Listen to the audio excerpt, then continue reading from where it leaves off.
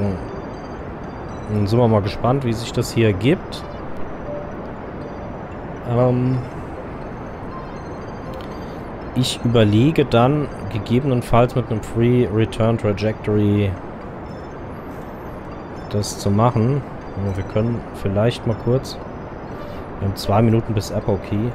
Dann stellen wir kurz mal hier die Triebwerke aus. Wir rechnen mal.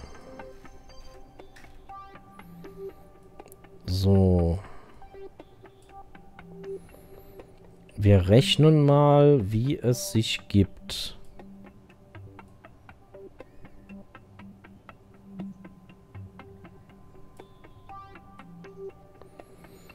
So. Ne, dann kriegen wir den Flyby nicht. 1200 Meter pro Sekunde brauchen wir noch.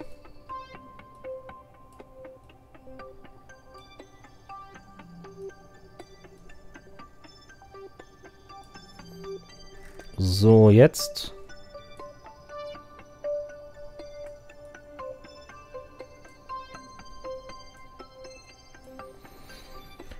Okay.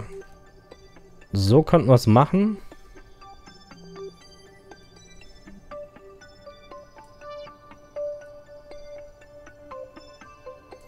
Ich möchte aber eigentlich hier relativ dicht runterkommen. So dicht nicht.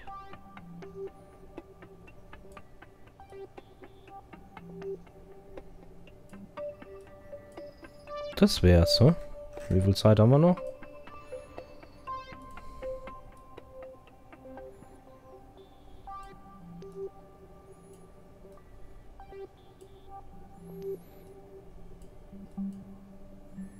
Das wär's. Das müssen wir machen. So, ähm, Brennzeit 2 Minuten 10 Sekunden in einer Minute 8. Das heißt, bei einer Minute 4 gibt es jetzt ein Go.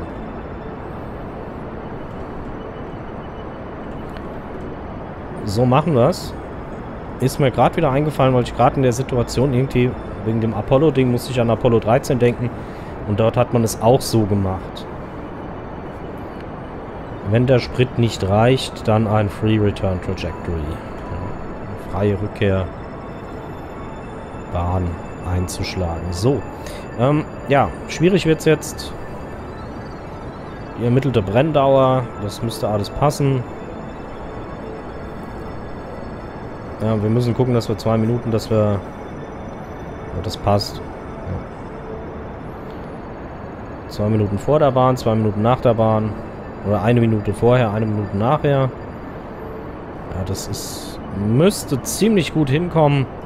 Dann haben wir hier einen kleinen Intersect mit dem Moon, der uns auf eine niedrigere Flugbahn bringt und wir quasi direkt zurückfallen in die Atmosphäre. Ja, bremsen mit unserem Bobbes beziehungsweise mit den Rest, mit Treibstoffreserven kurz vorher brennen wir alles an Geschwindigkeit weg, was wir können, ditchen dann den, ähm, die, die Transferstufe und haben dann im Endeffekt den, den Flyby erfolgreich absolviert. Wir werden einen Haufen Mengen Daten sammeln. Wir werden, ich weiß gar nicht, ist schon mal Jeb, war Jeb nicht schon mal äh, EVA über dem Moon? Ich weiß es nicht. Ja, es, es steht auch Valentina zu. Jeb hat sehr viele ähm, World First Records gemacht. Ähm, da denke ich, ist auch jetzt Valentina mal an der Zeit, dass sie das machen kann. Darf sie die Gelegenheit bekommt. Ja, es in ihre Hände gelegt wird. So, wir müssen aber noch ein bisschen. Und das muss auf den Punkt stimmen. So, wir müssen aber noch ein bisschen ja, man sieht, hier kommt es wirklich auf jeden Meter an. Jetzt ist auch die liebe Katze wieder da. Muss man gerade mal gucken. Nee, das war die falsche Richtung, mein Freund. Wir müssen ein bisschen Prograde gehen. Wir müssen ein ganz kleines bisschen Prograde gehen.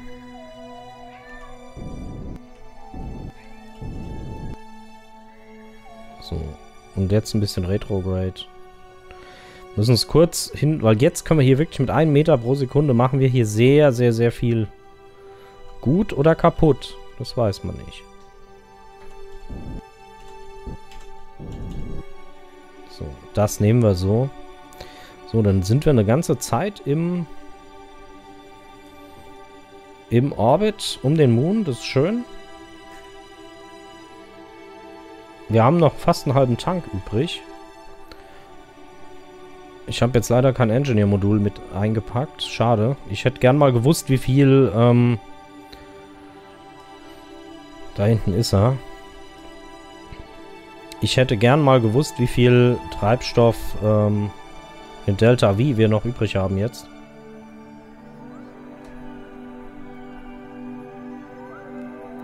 Aber es müsste noch einiges sein, weil wir eben, glaube ich, 1200 oder 1600 Meter pro Sekunde gebrannt haben. Und wir immer noch gut Treibstoff übrig haben. So, ähm, by the way, wir können einmal hier die RPWS-Antenne aktivieren.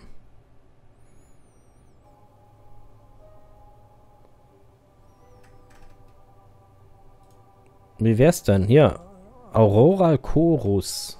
Radio waves are detected uh, emanating from Kerbin's poles, indicating the presence of geomagnetic storms. So, ähm, ja, leider war kein Platz mehr für eine Antenne. Das bedeutet, wir müssen das jetzt von Hand machen.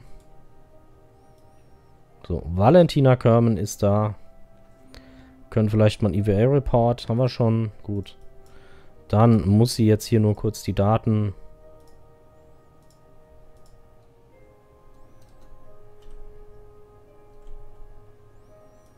Muss sie nur kurz die Daten. Ähm ja, wir machen mal so. Das ist schon okay. Ein bisschen freihändig. So, Daten einsammeln. Das müssen wir in der nächsten nächsten Version des Schiffs unbedingt ändern, dass man das von der Einstiegsluke aus machen kann.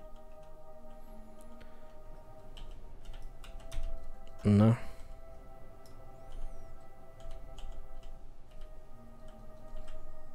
So, und dann gehen wir hier rein. Das Ding ähm, schalten wir aus. Das verbraucht nur unnötig Strom. Aktivieren das SAS wieder. Und ja, lassen unsere Reise langsam fortsetzen. Wir sehen hier ähm, Oxygen, Water, das ist alles da, Food.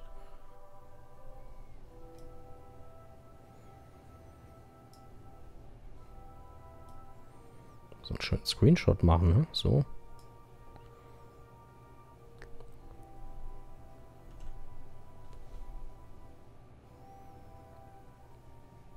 Und wir müssten gleich unseren Transfer abgeschlossen haben. Wir sind gleich am Punkt, wo wir in den Moon Orbit übertreten. Ich möchte es ein bisschen, es muss ein bisschen cineastischer aussehen, vielleicht so. Eben sind wir in den Moon Orbit übergetreten. So, jetzt haben wir hier tatsächlich ein paar Stündchen, fast anderthalb Stunden Zeit, äh, was zu erledigen. Das bedeutet, wir machen erstmal hier Mystery Goo Observing. The Goo seems to be less dense hier. Ja, das haben wir ja schon mal getestet. 13,81. Ähm... So, Return or Transmit Data. Also wir müssen es mitnehmen. Zwei der folgenden Experimente. Das heißt, ähm... Ja, wir haben den Magnetometer noch. So, ähm, das heißt, hier müssen wir auch nochmal observen. Ich observe jetzt beide High Over the Moon. The Goo feels right at home hier, jawohl. Ähm, verschwenden wir zwar ein bisschen was, aber es ist mir so sicherer. Ähm, auch hier wollen wir wieder ein EVA-Report. You've recorded your observations about the situation. Das ist 14,4 Science Points. Krasse Scheiße. So, ähm, gleichzeitig wollen wir hier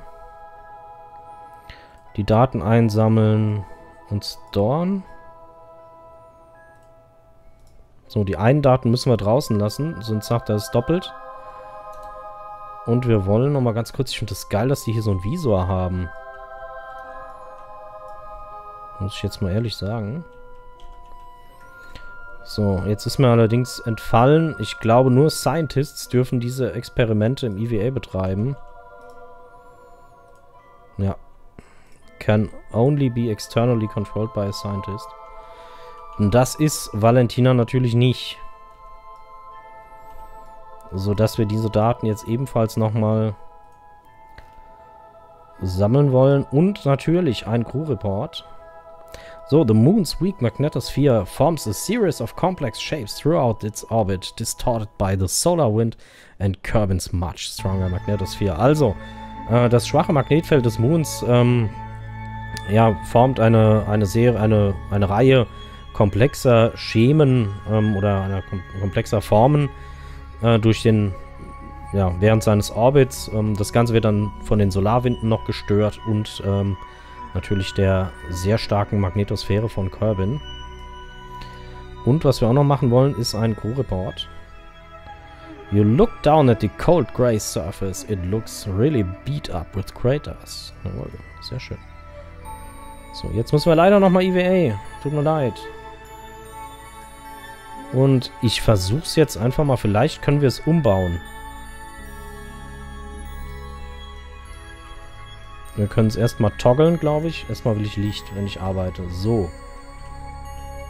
Können wir es jetzt erstmal Take Data und, ähm, nein, wir können es nicht toggeln. Und im ausgefahrenen Zustand habe ich irgendwie wenig Lust, das zu, ähm, das zu demontieren. Ja, mein Ziel wäre jetzt gewesen, das mittels... Aber ich habe, glaube ich, auch keine KRS-Werkzeuge dabei.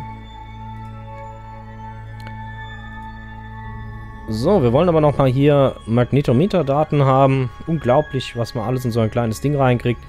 So, a weak magnetic field indicates that the moon may once have contained a molten iron core. Auch diese Daten sind wichtig. Ähm, schalten wir aus. Jetzt wäre die Frage, was wir als nächstes tun müssen.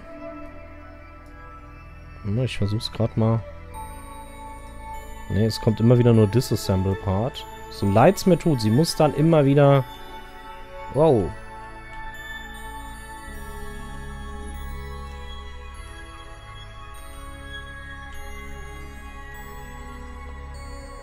Sie muss dann leider immer, immer wieder raus aus dem Raumschiff.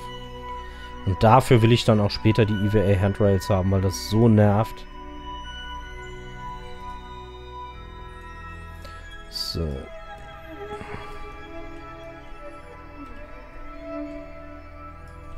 Ja, und dann kannst du dich einfach entlanghangeln.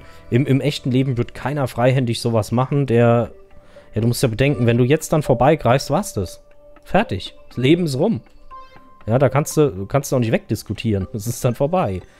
So. Ähm, was passiert, wenn wir hier in elf Minuten...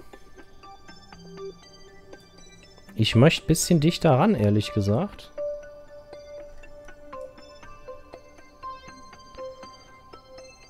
Und zwar...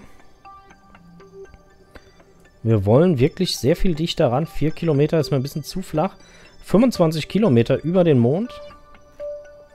Würde danach indicaten, dass wir hier ein etwas...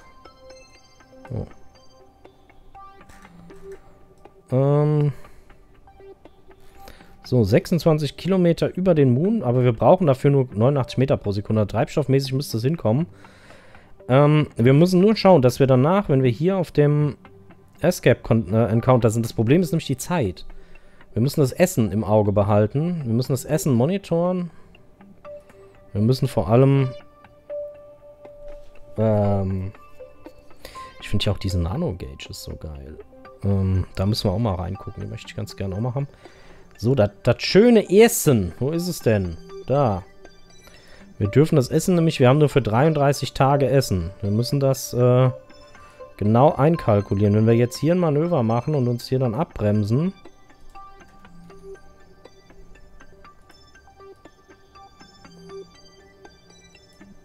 Ähm...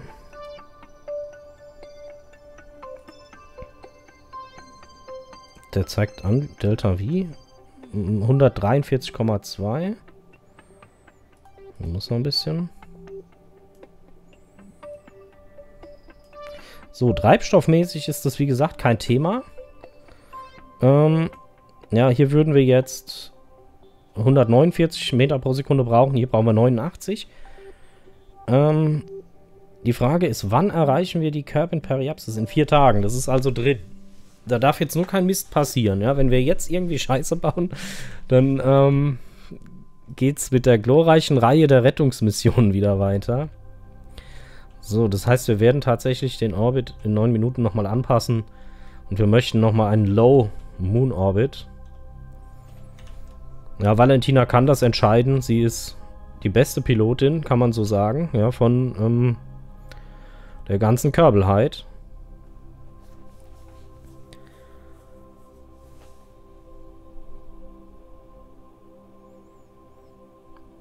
Und ich bin sehr gespannt, wie es wird. 2, 1. So, drei Sekunden vor dem Punkt ist es soweit. Ich wollte auch eigentlich nur zwei Stunden aufnehmen, ne? Ich habe gesagt, zwei Stunden machst du vier Folgen wieder.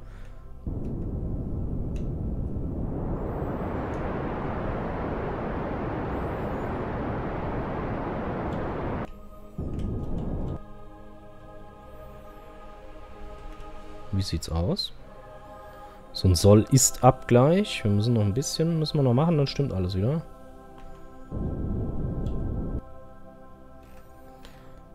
Ja, schön.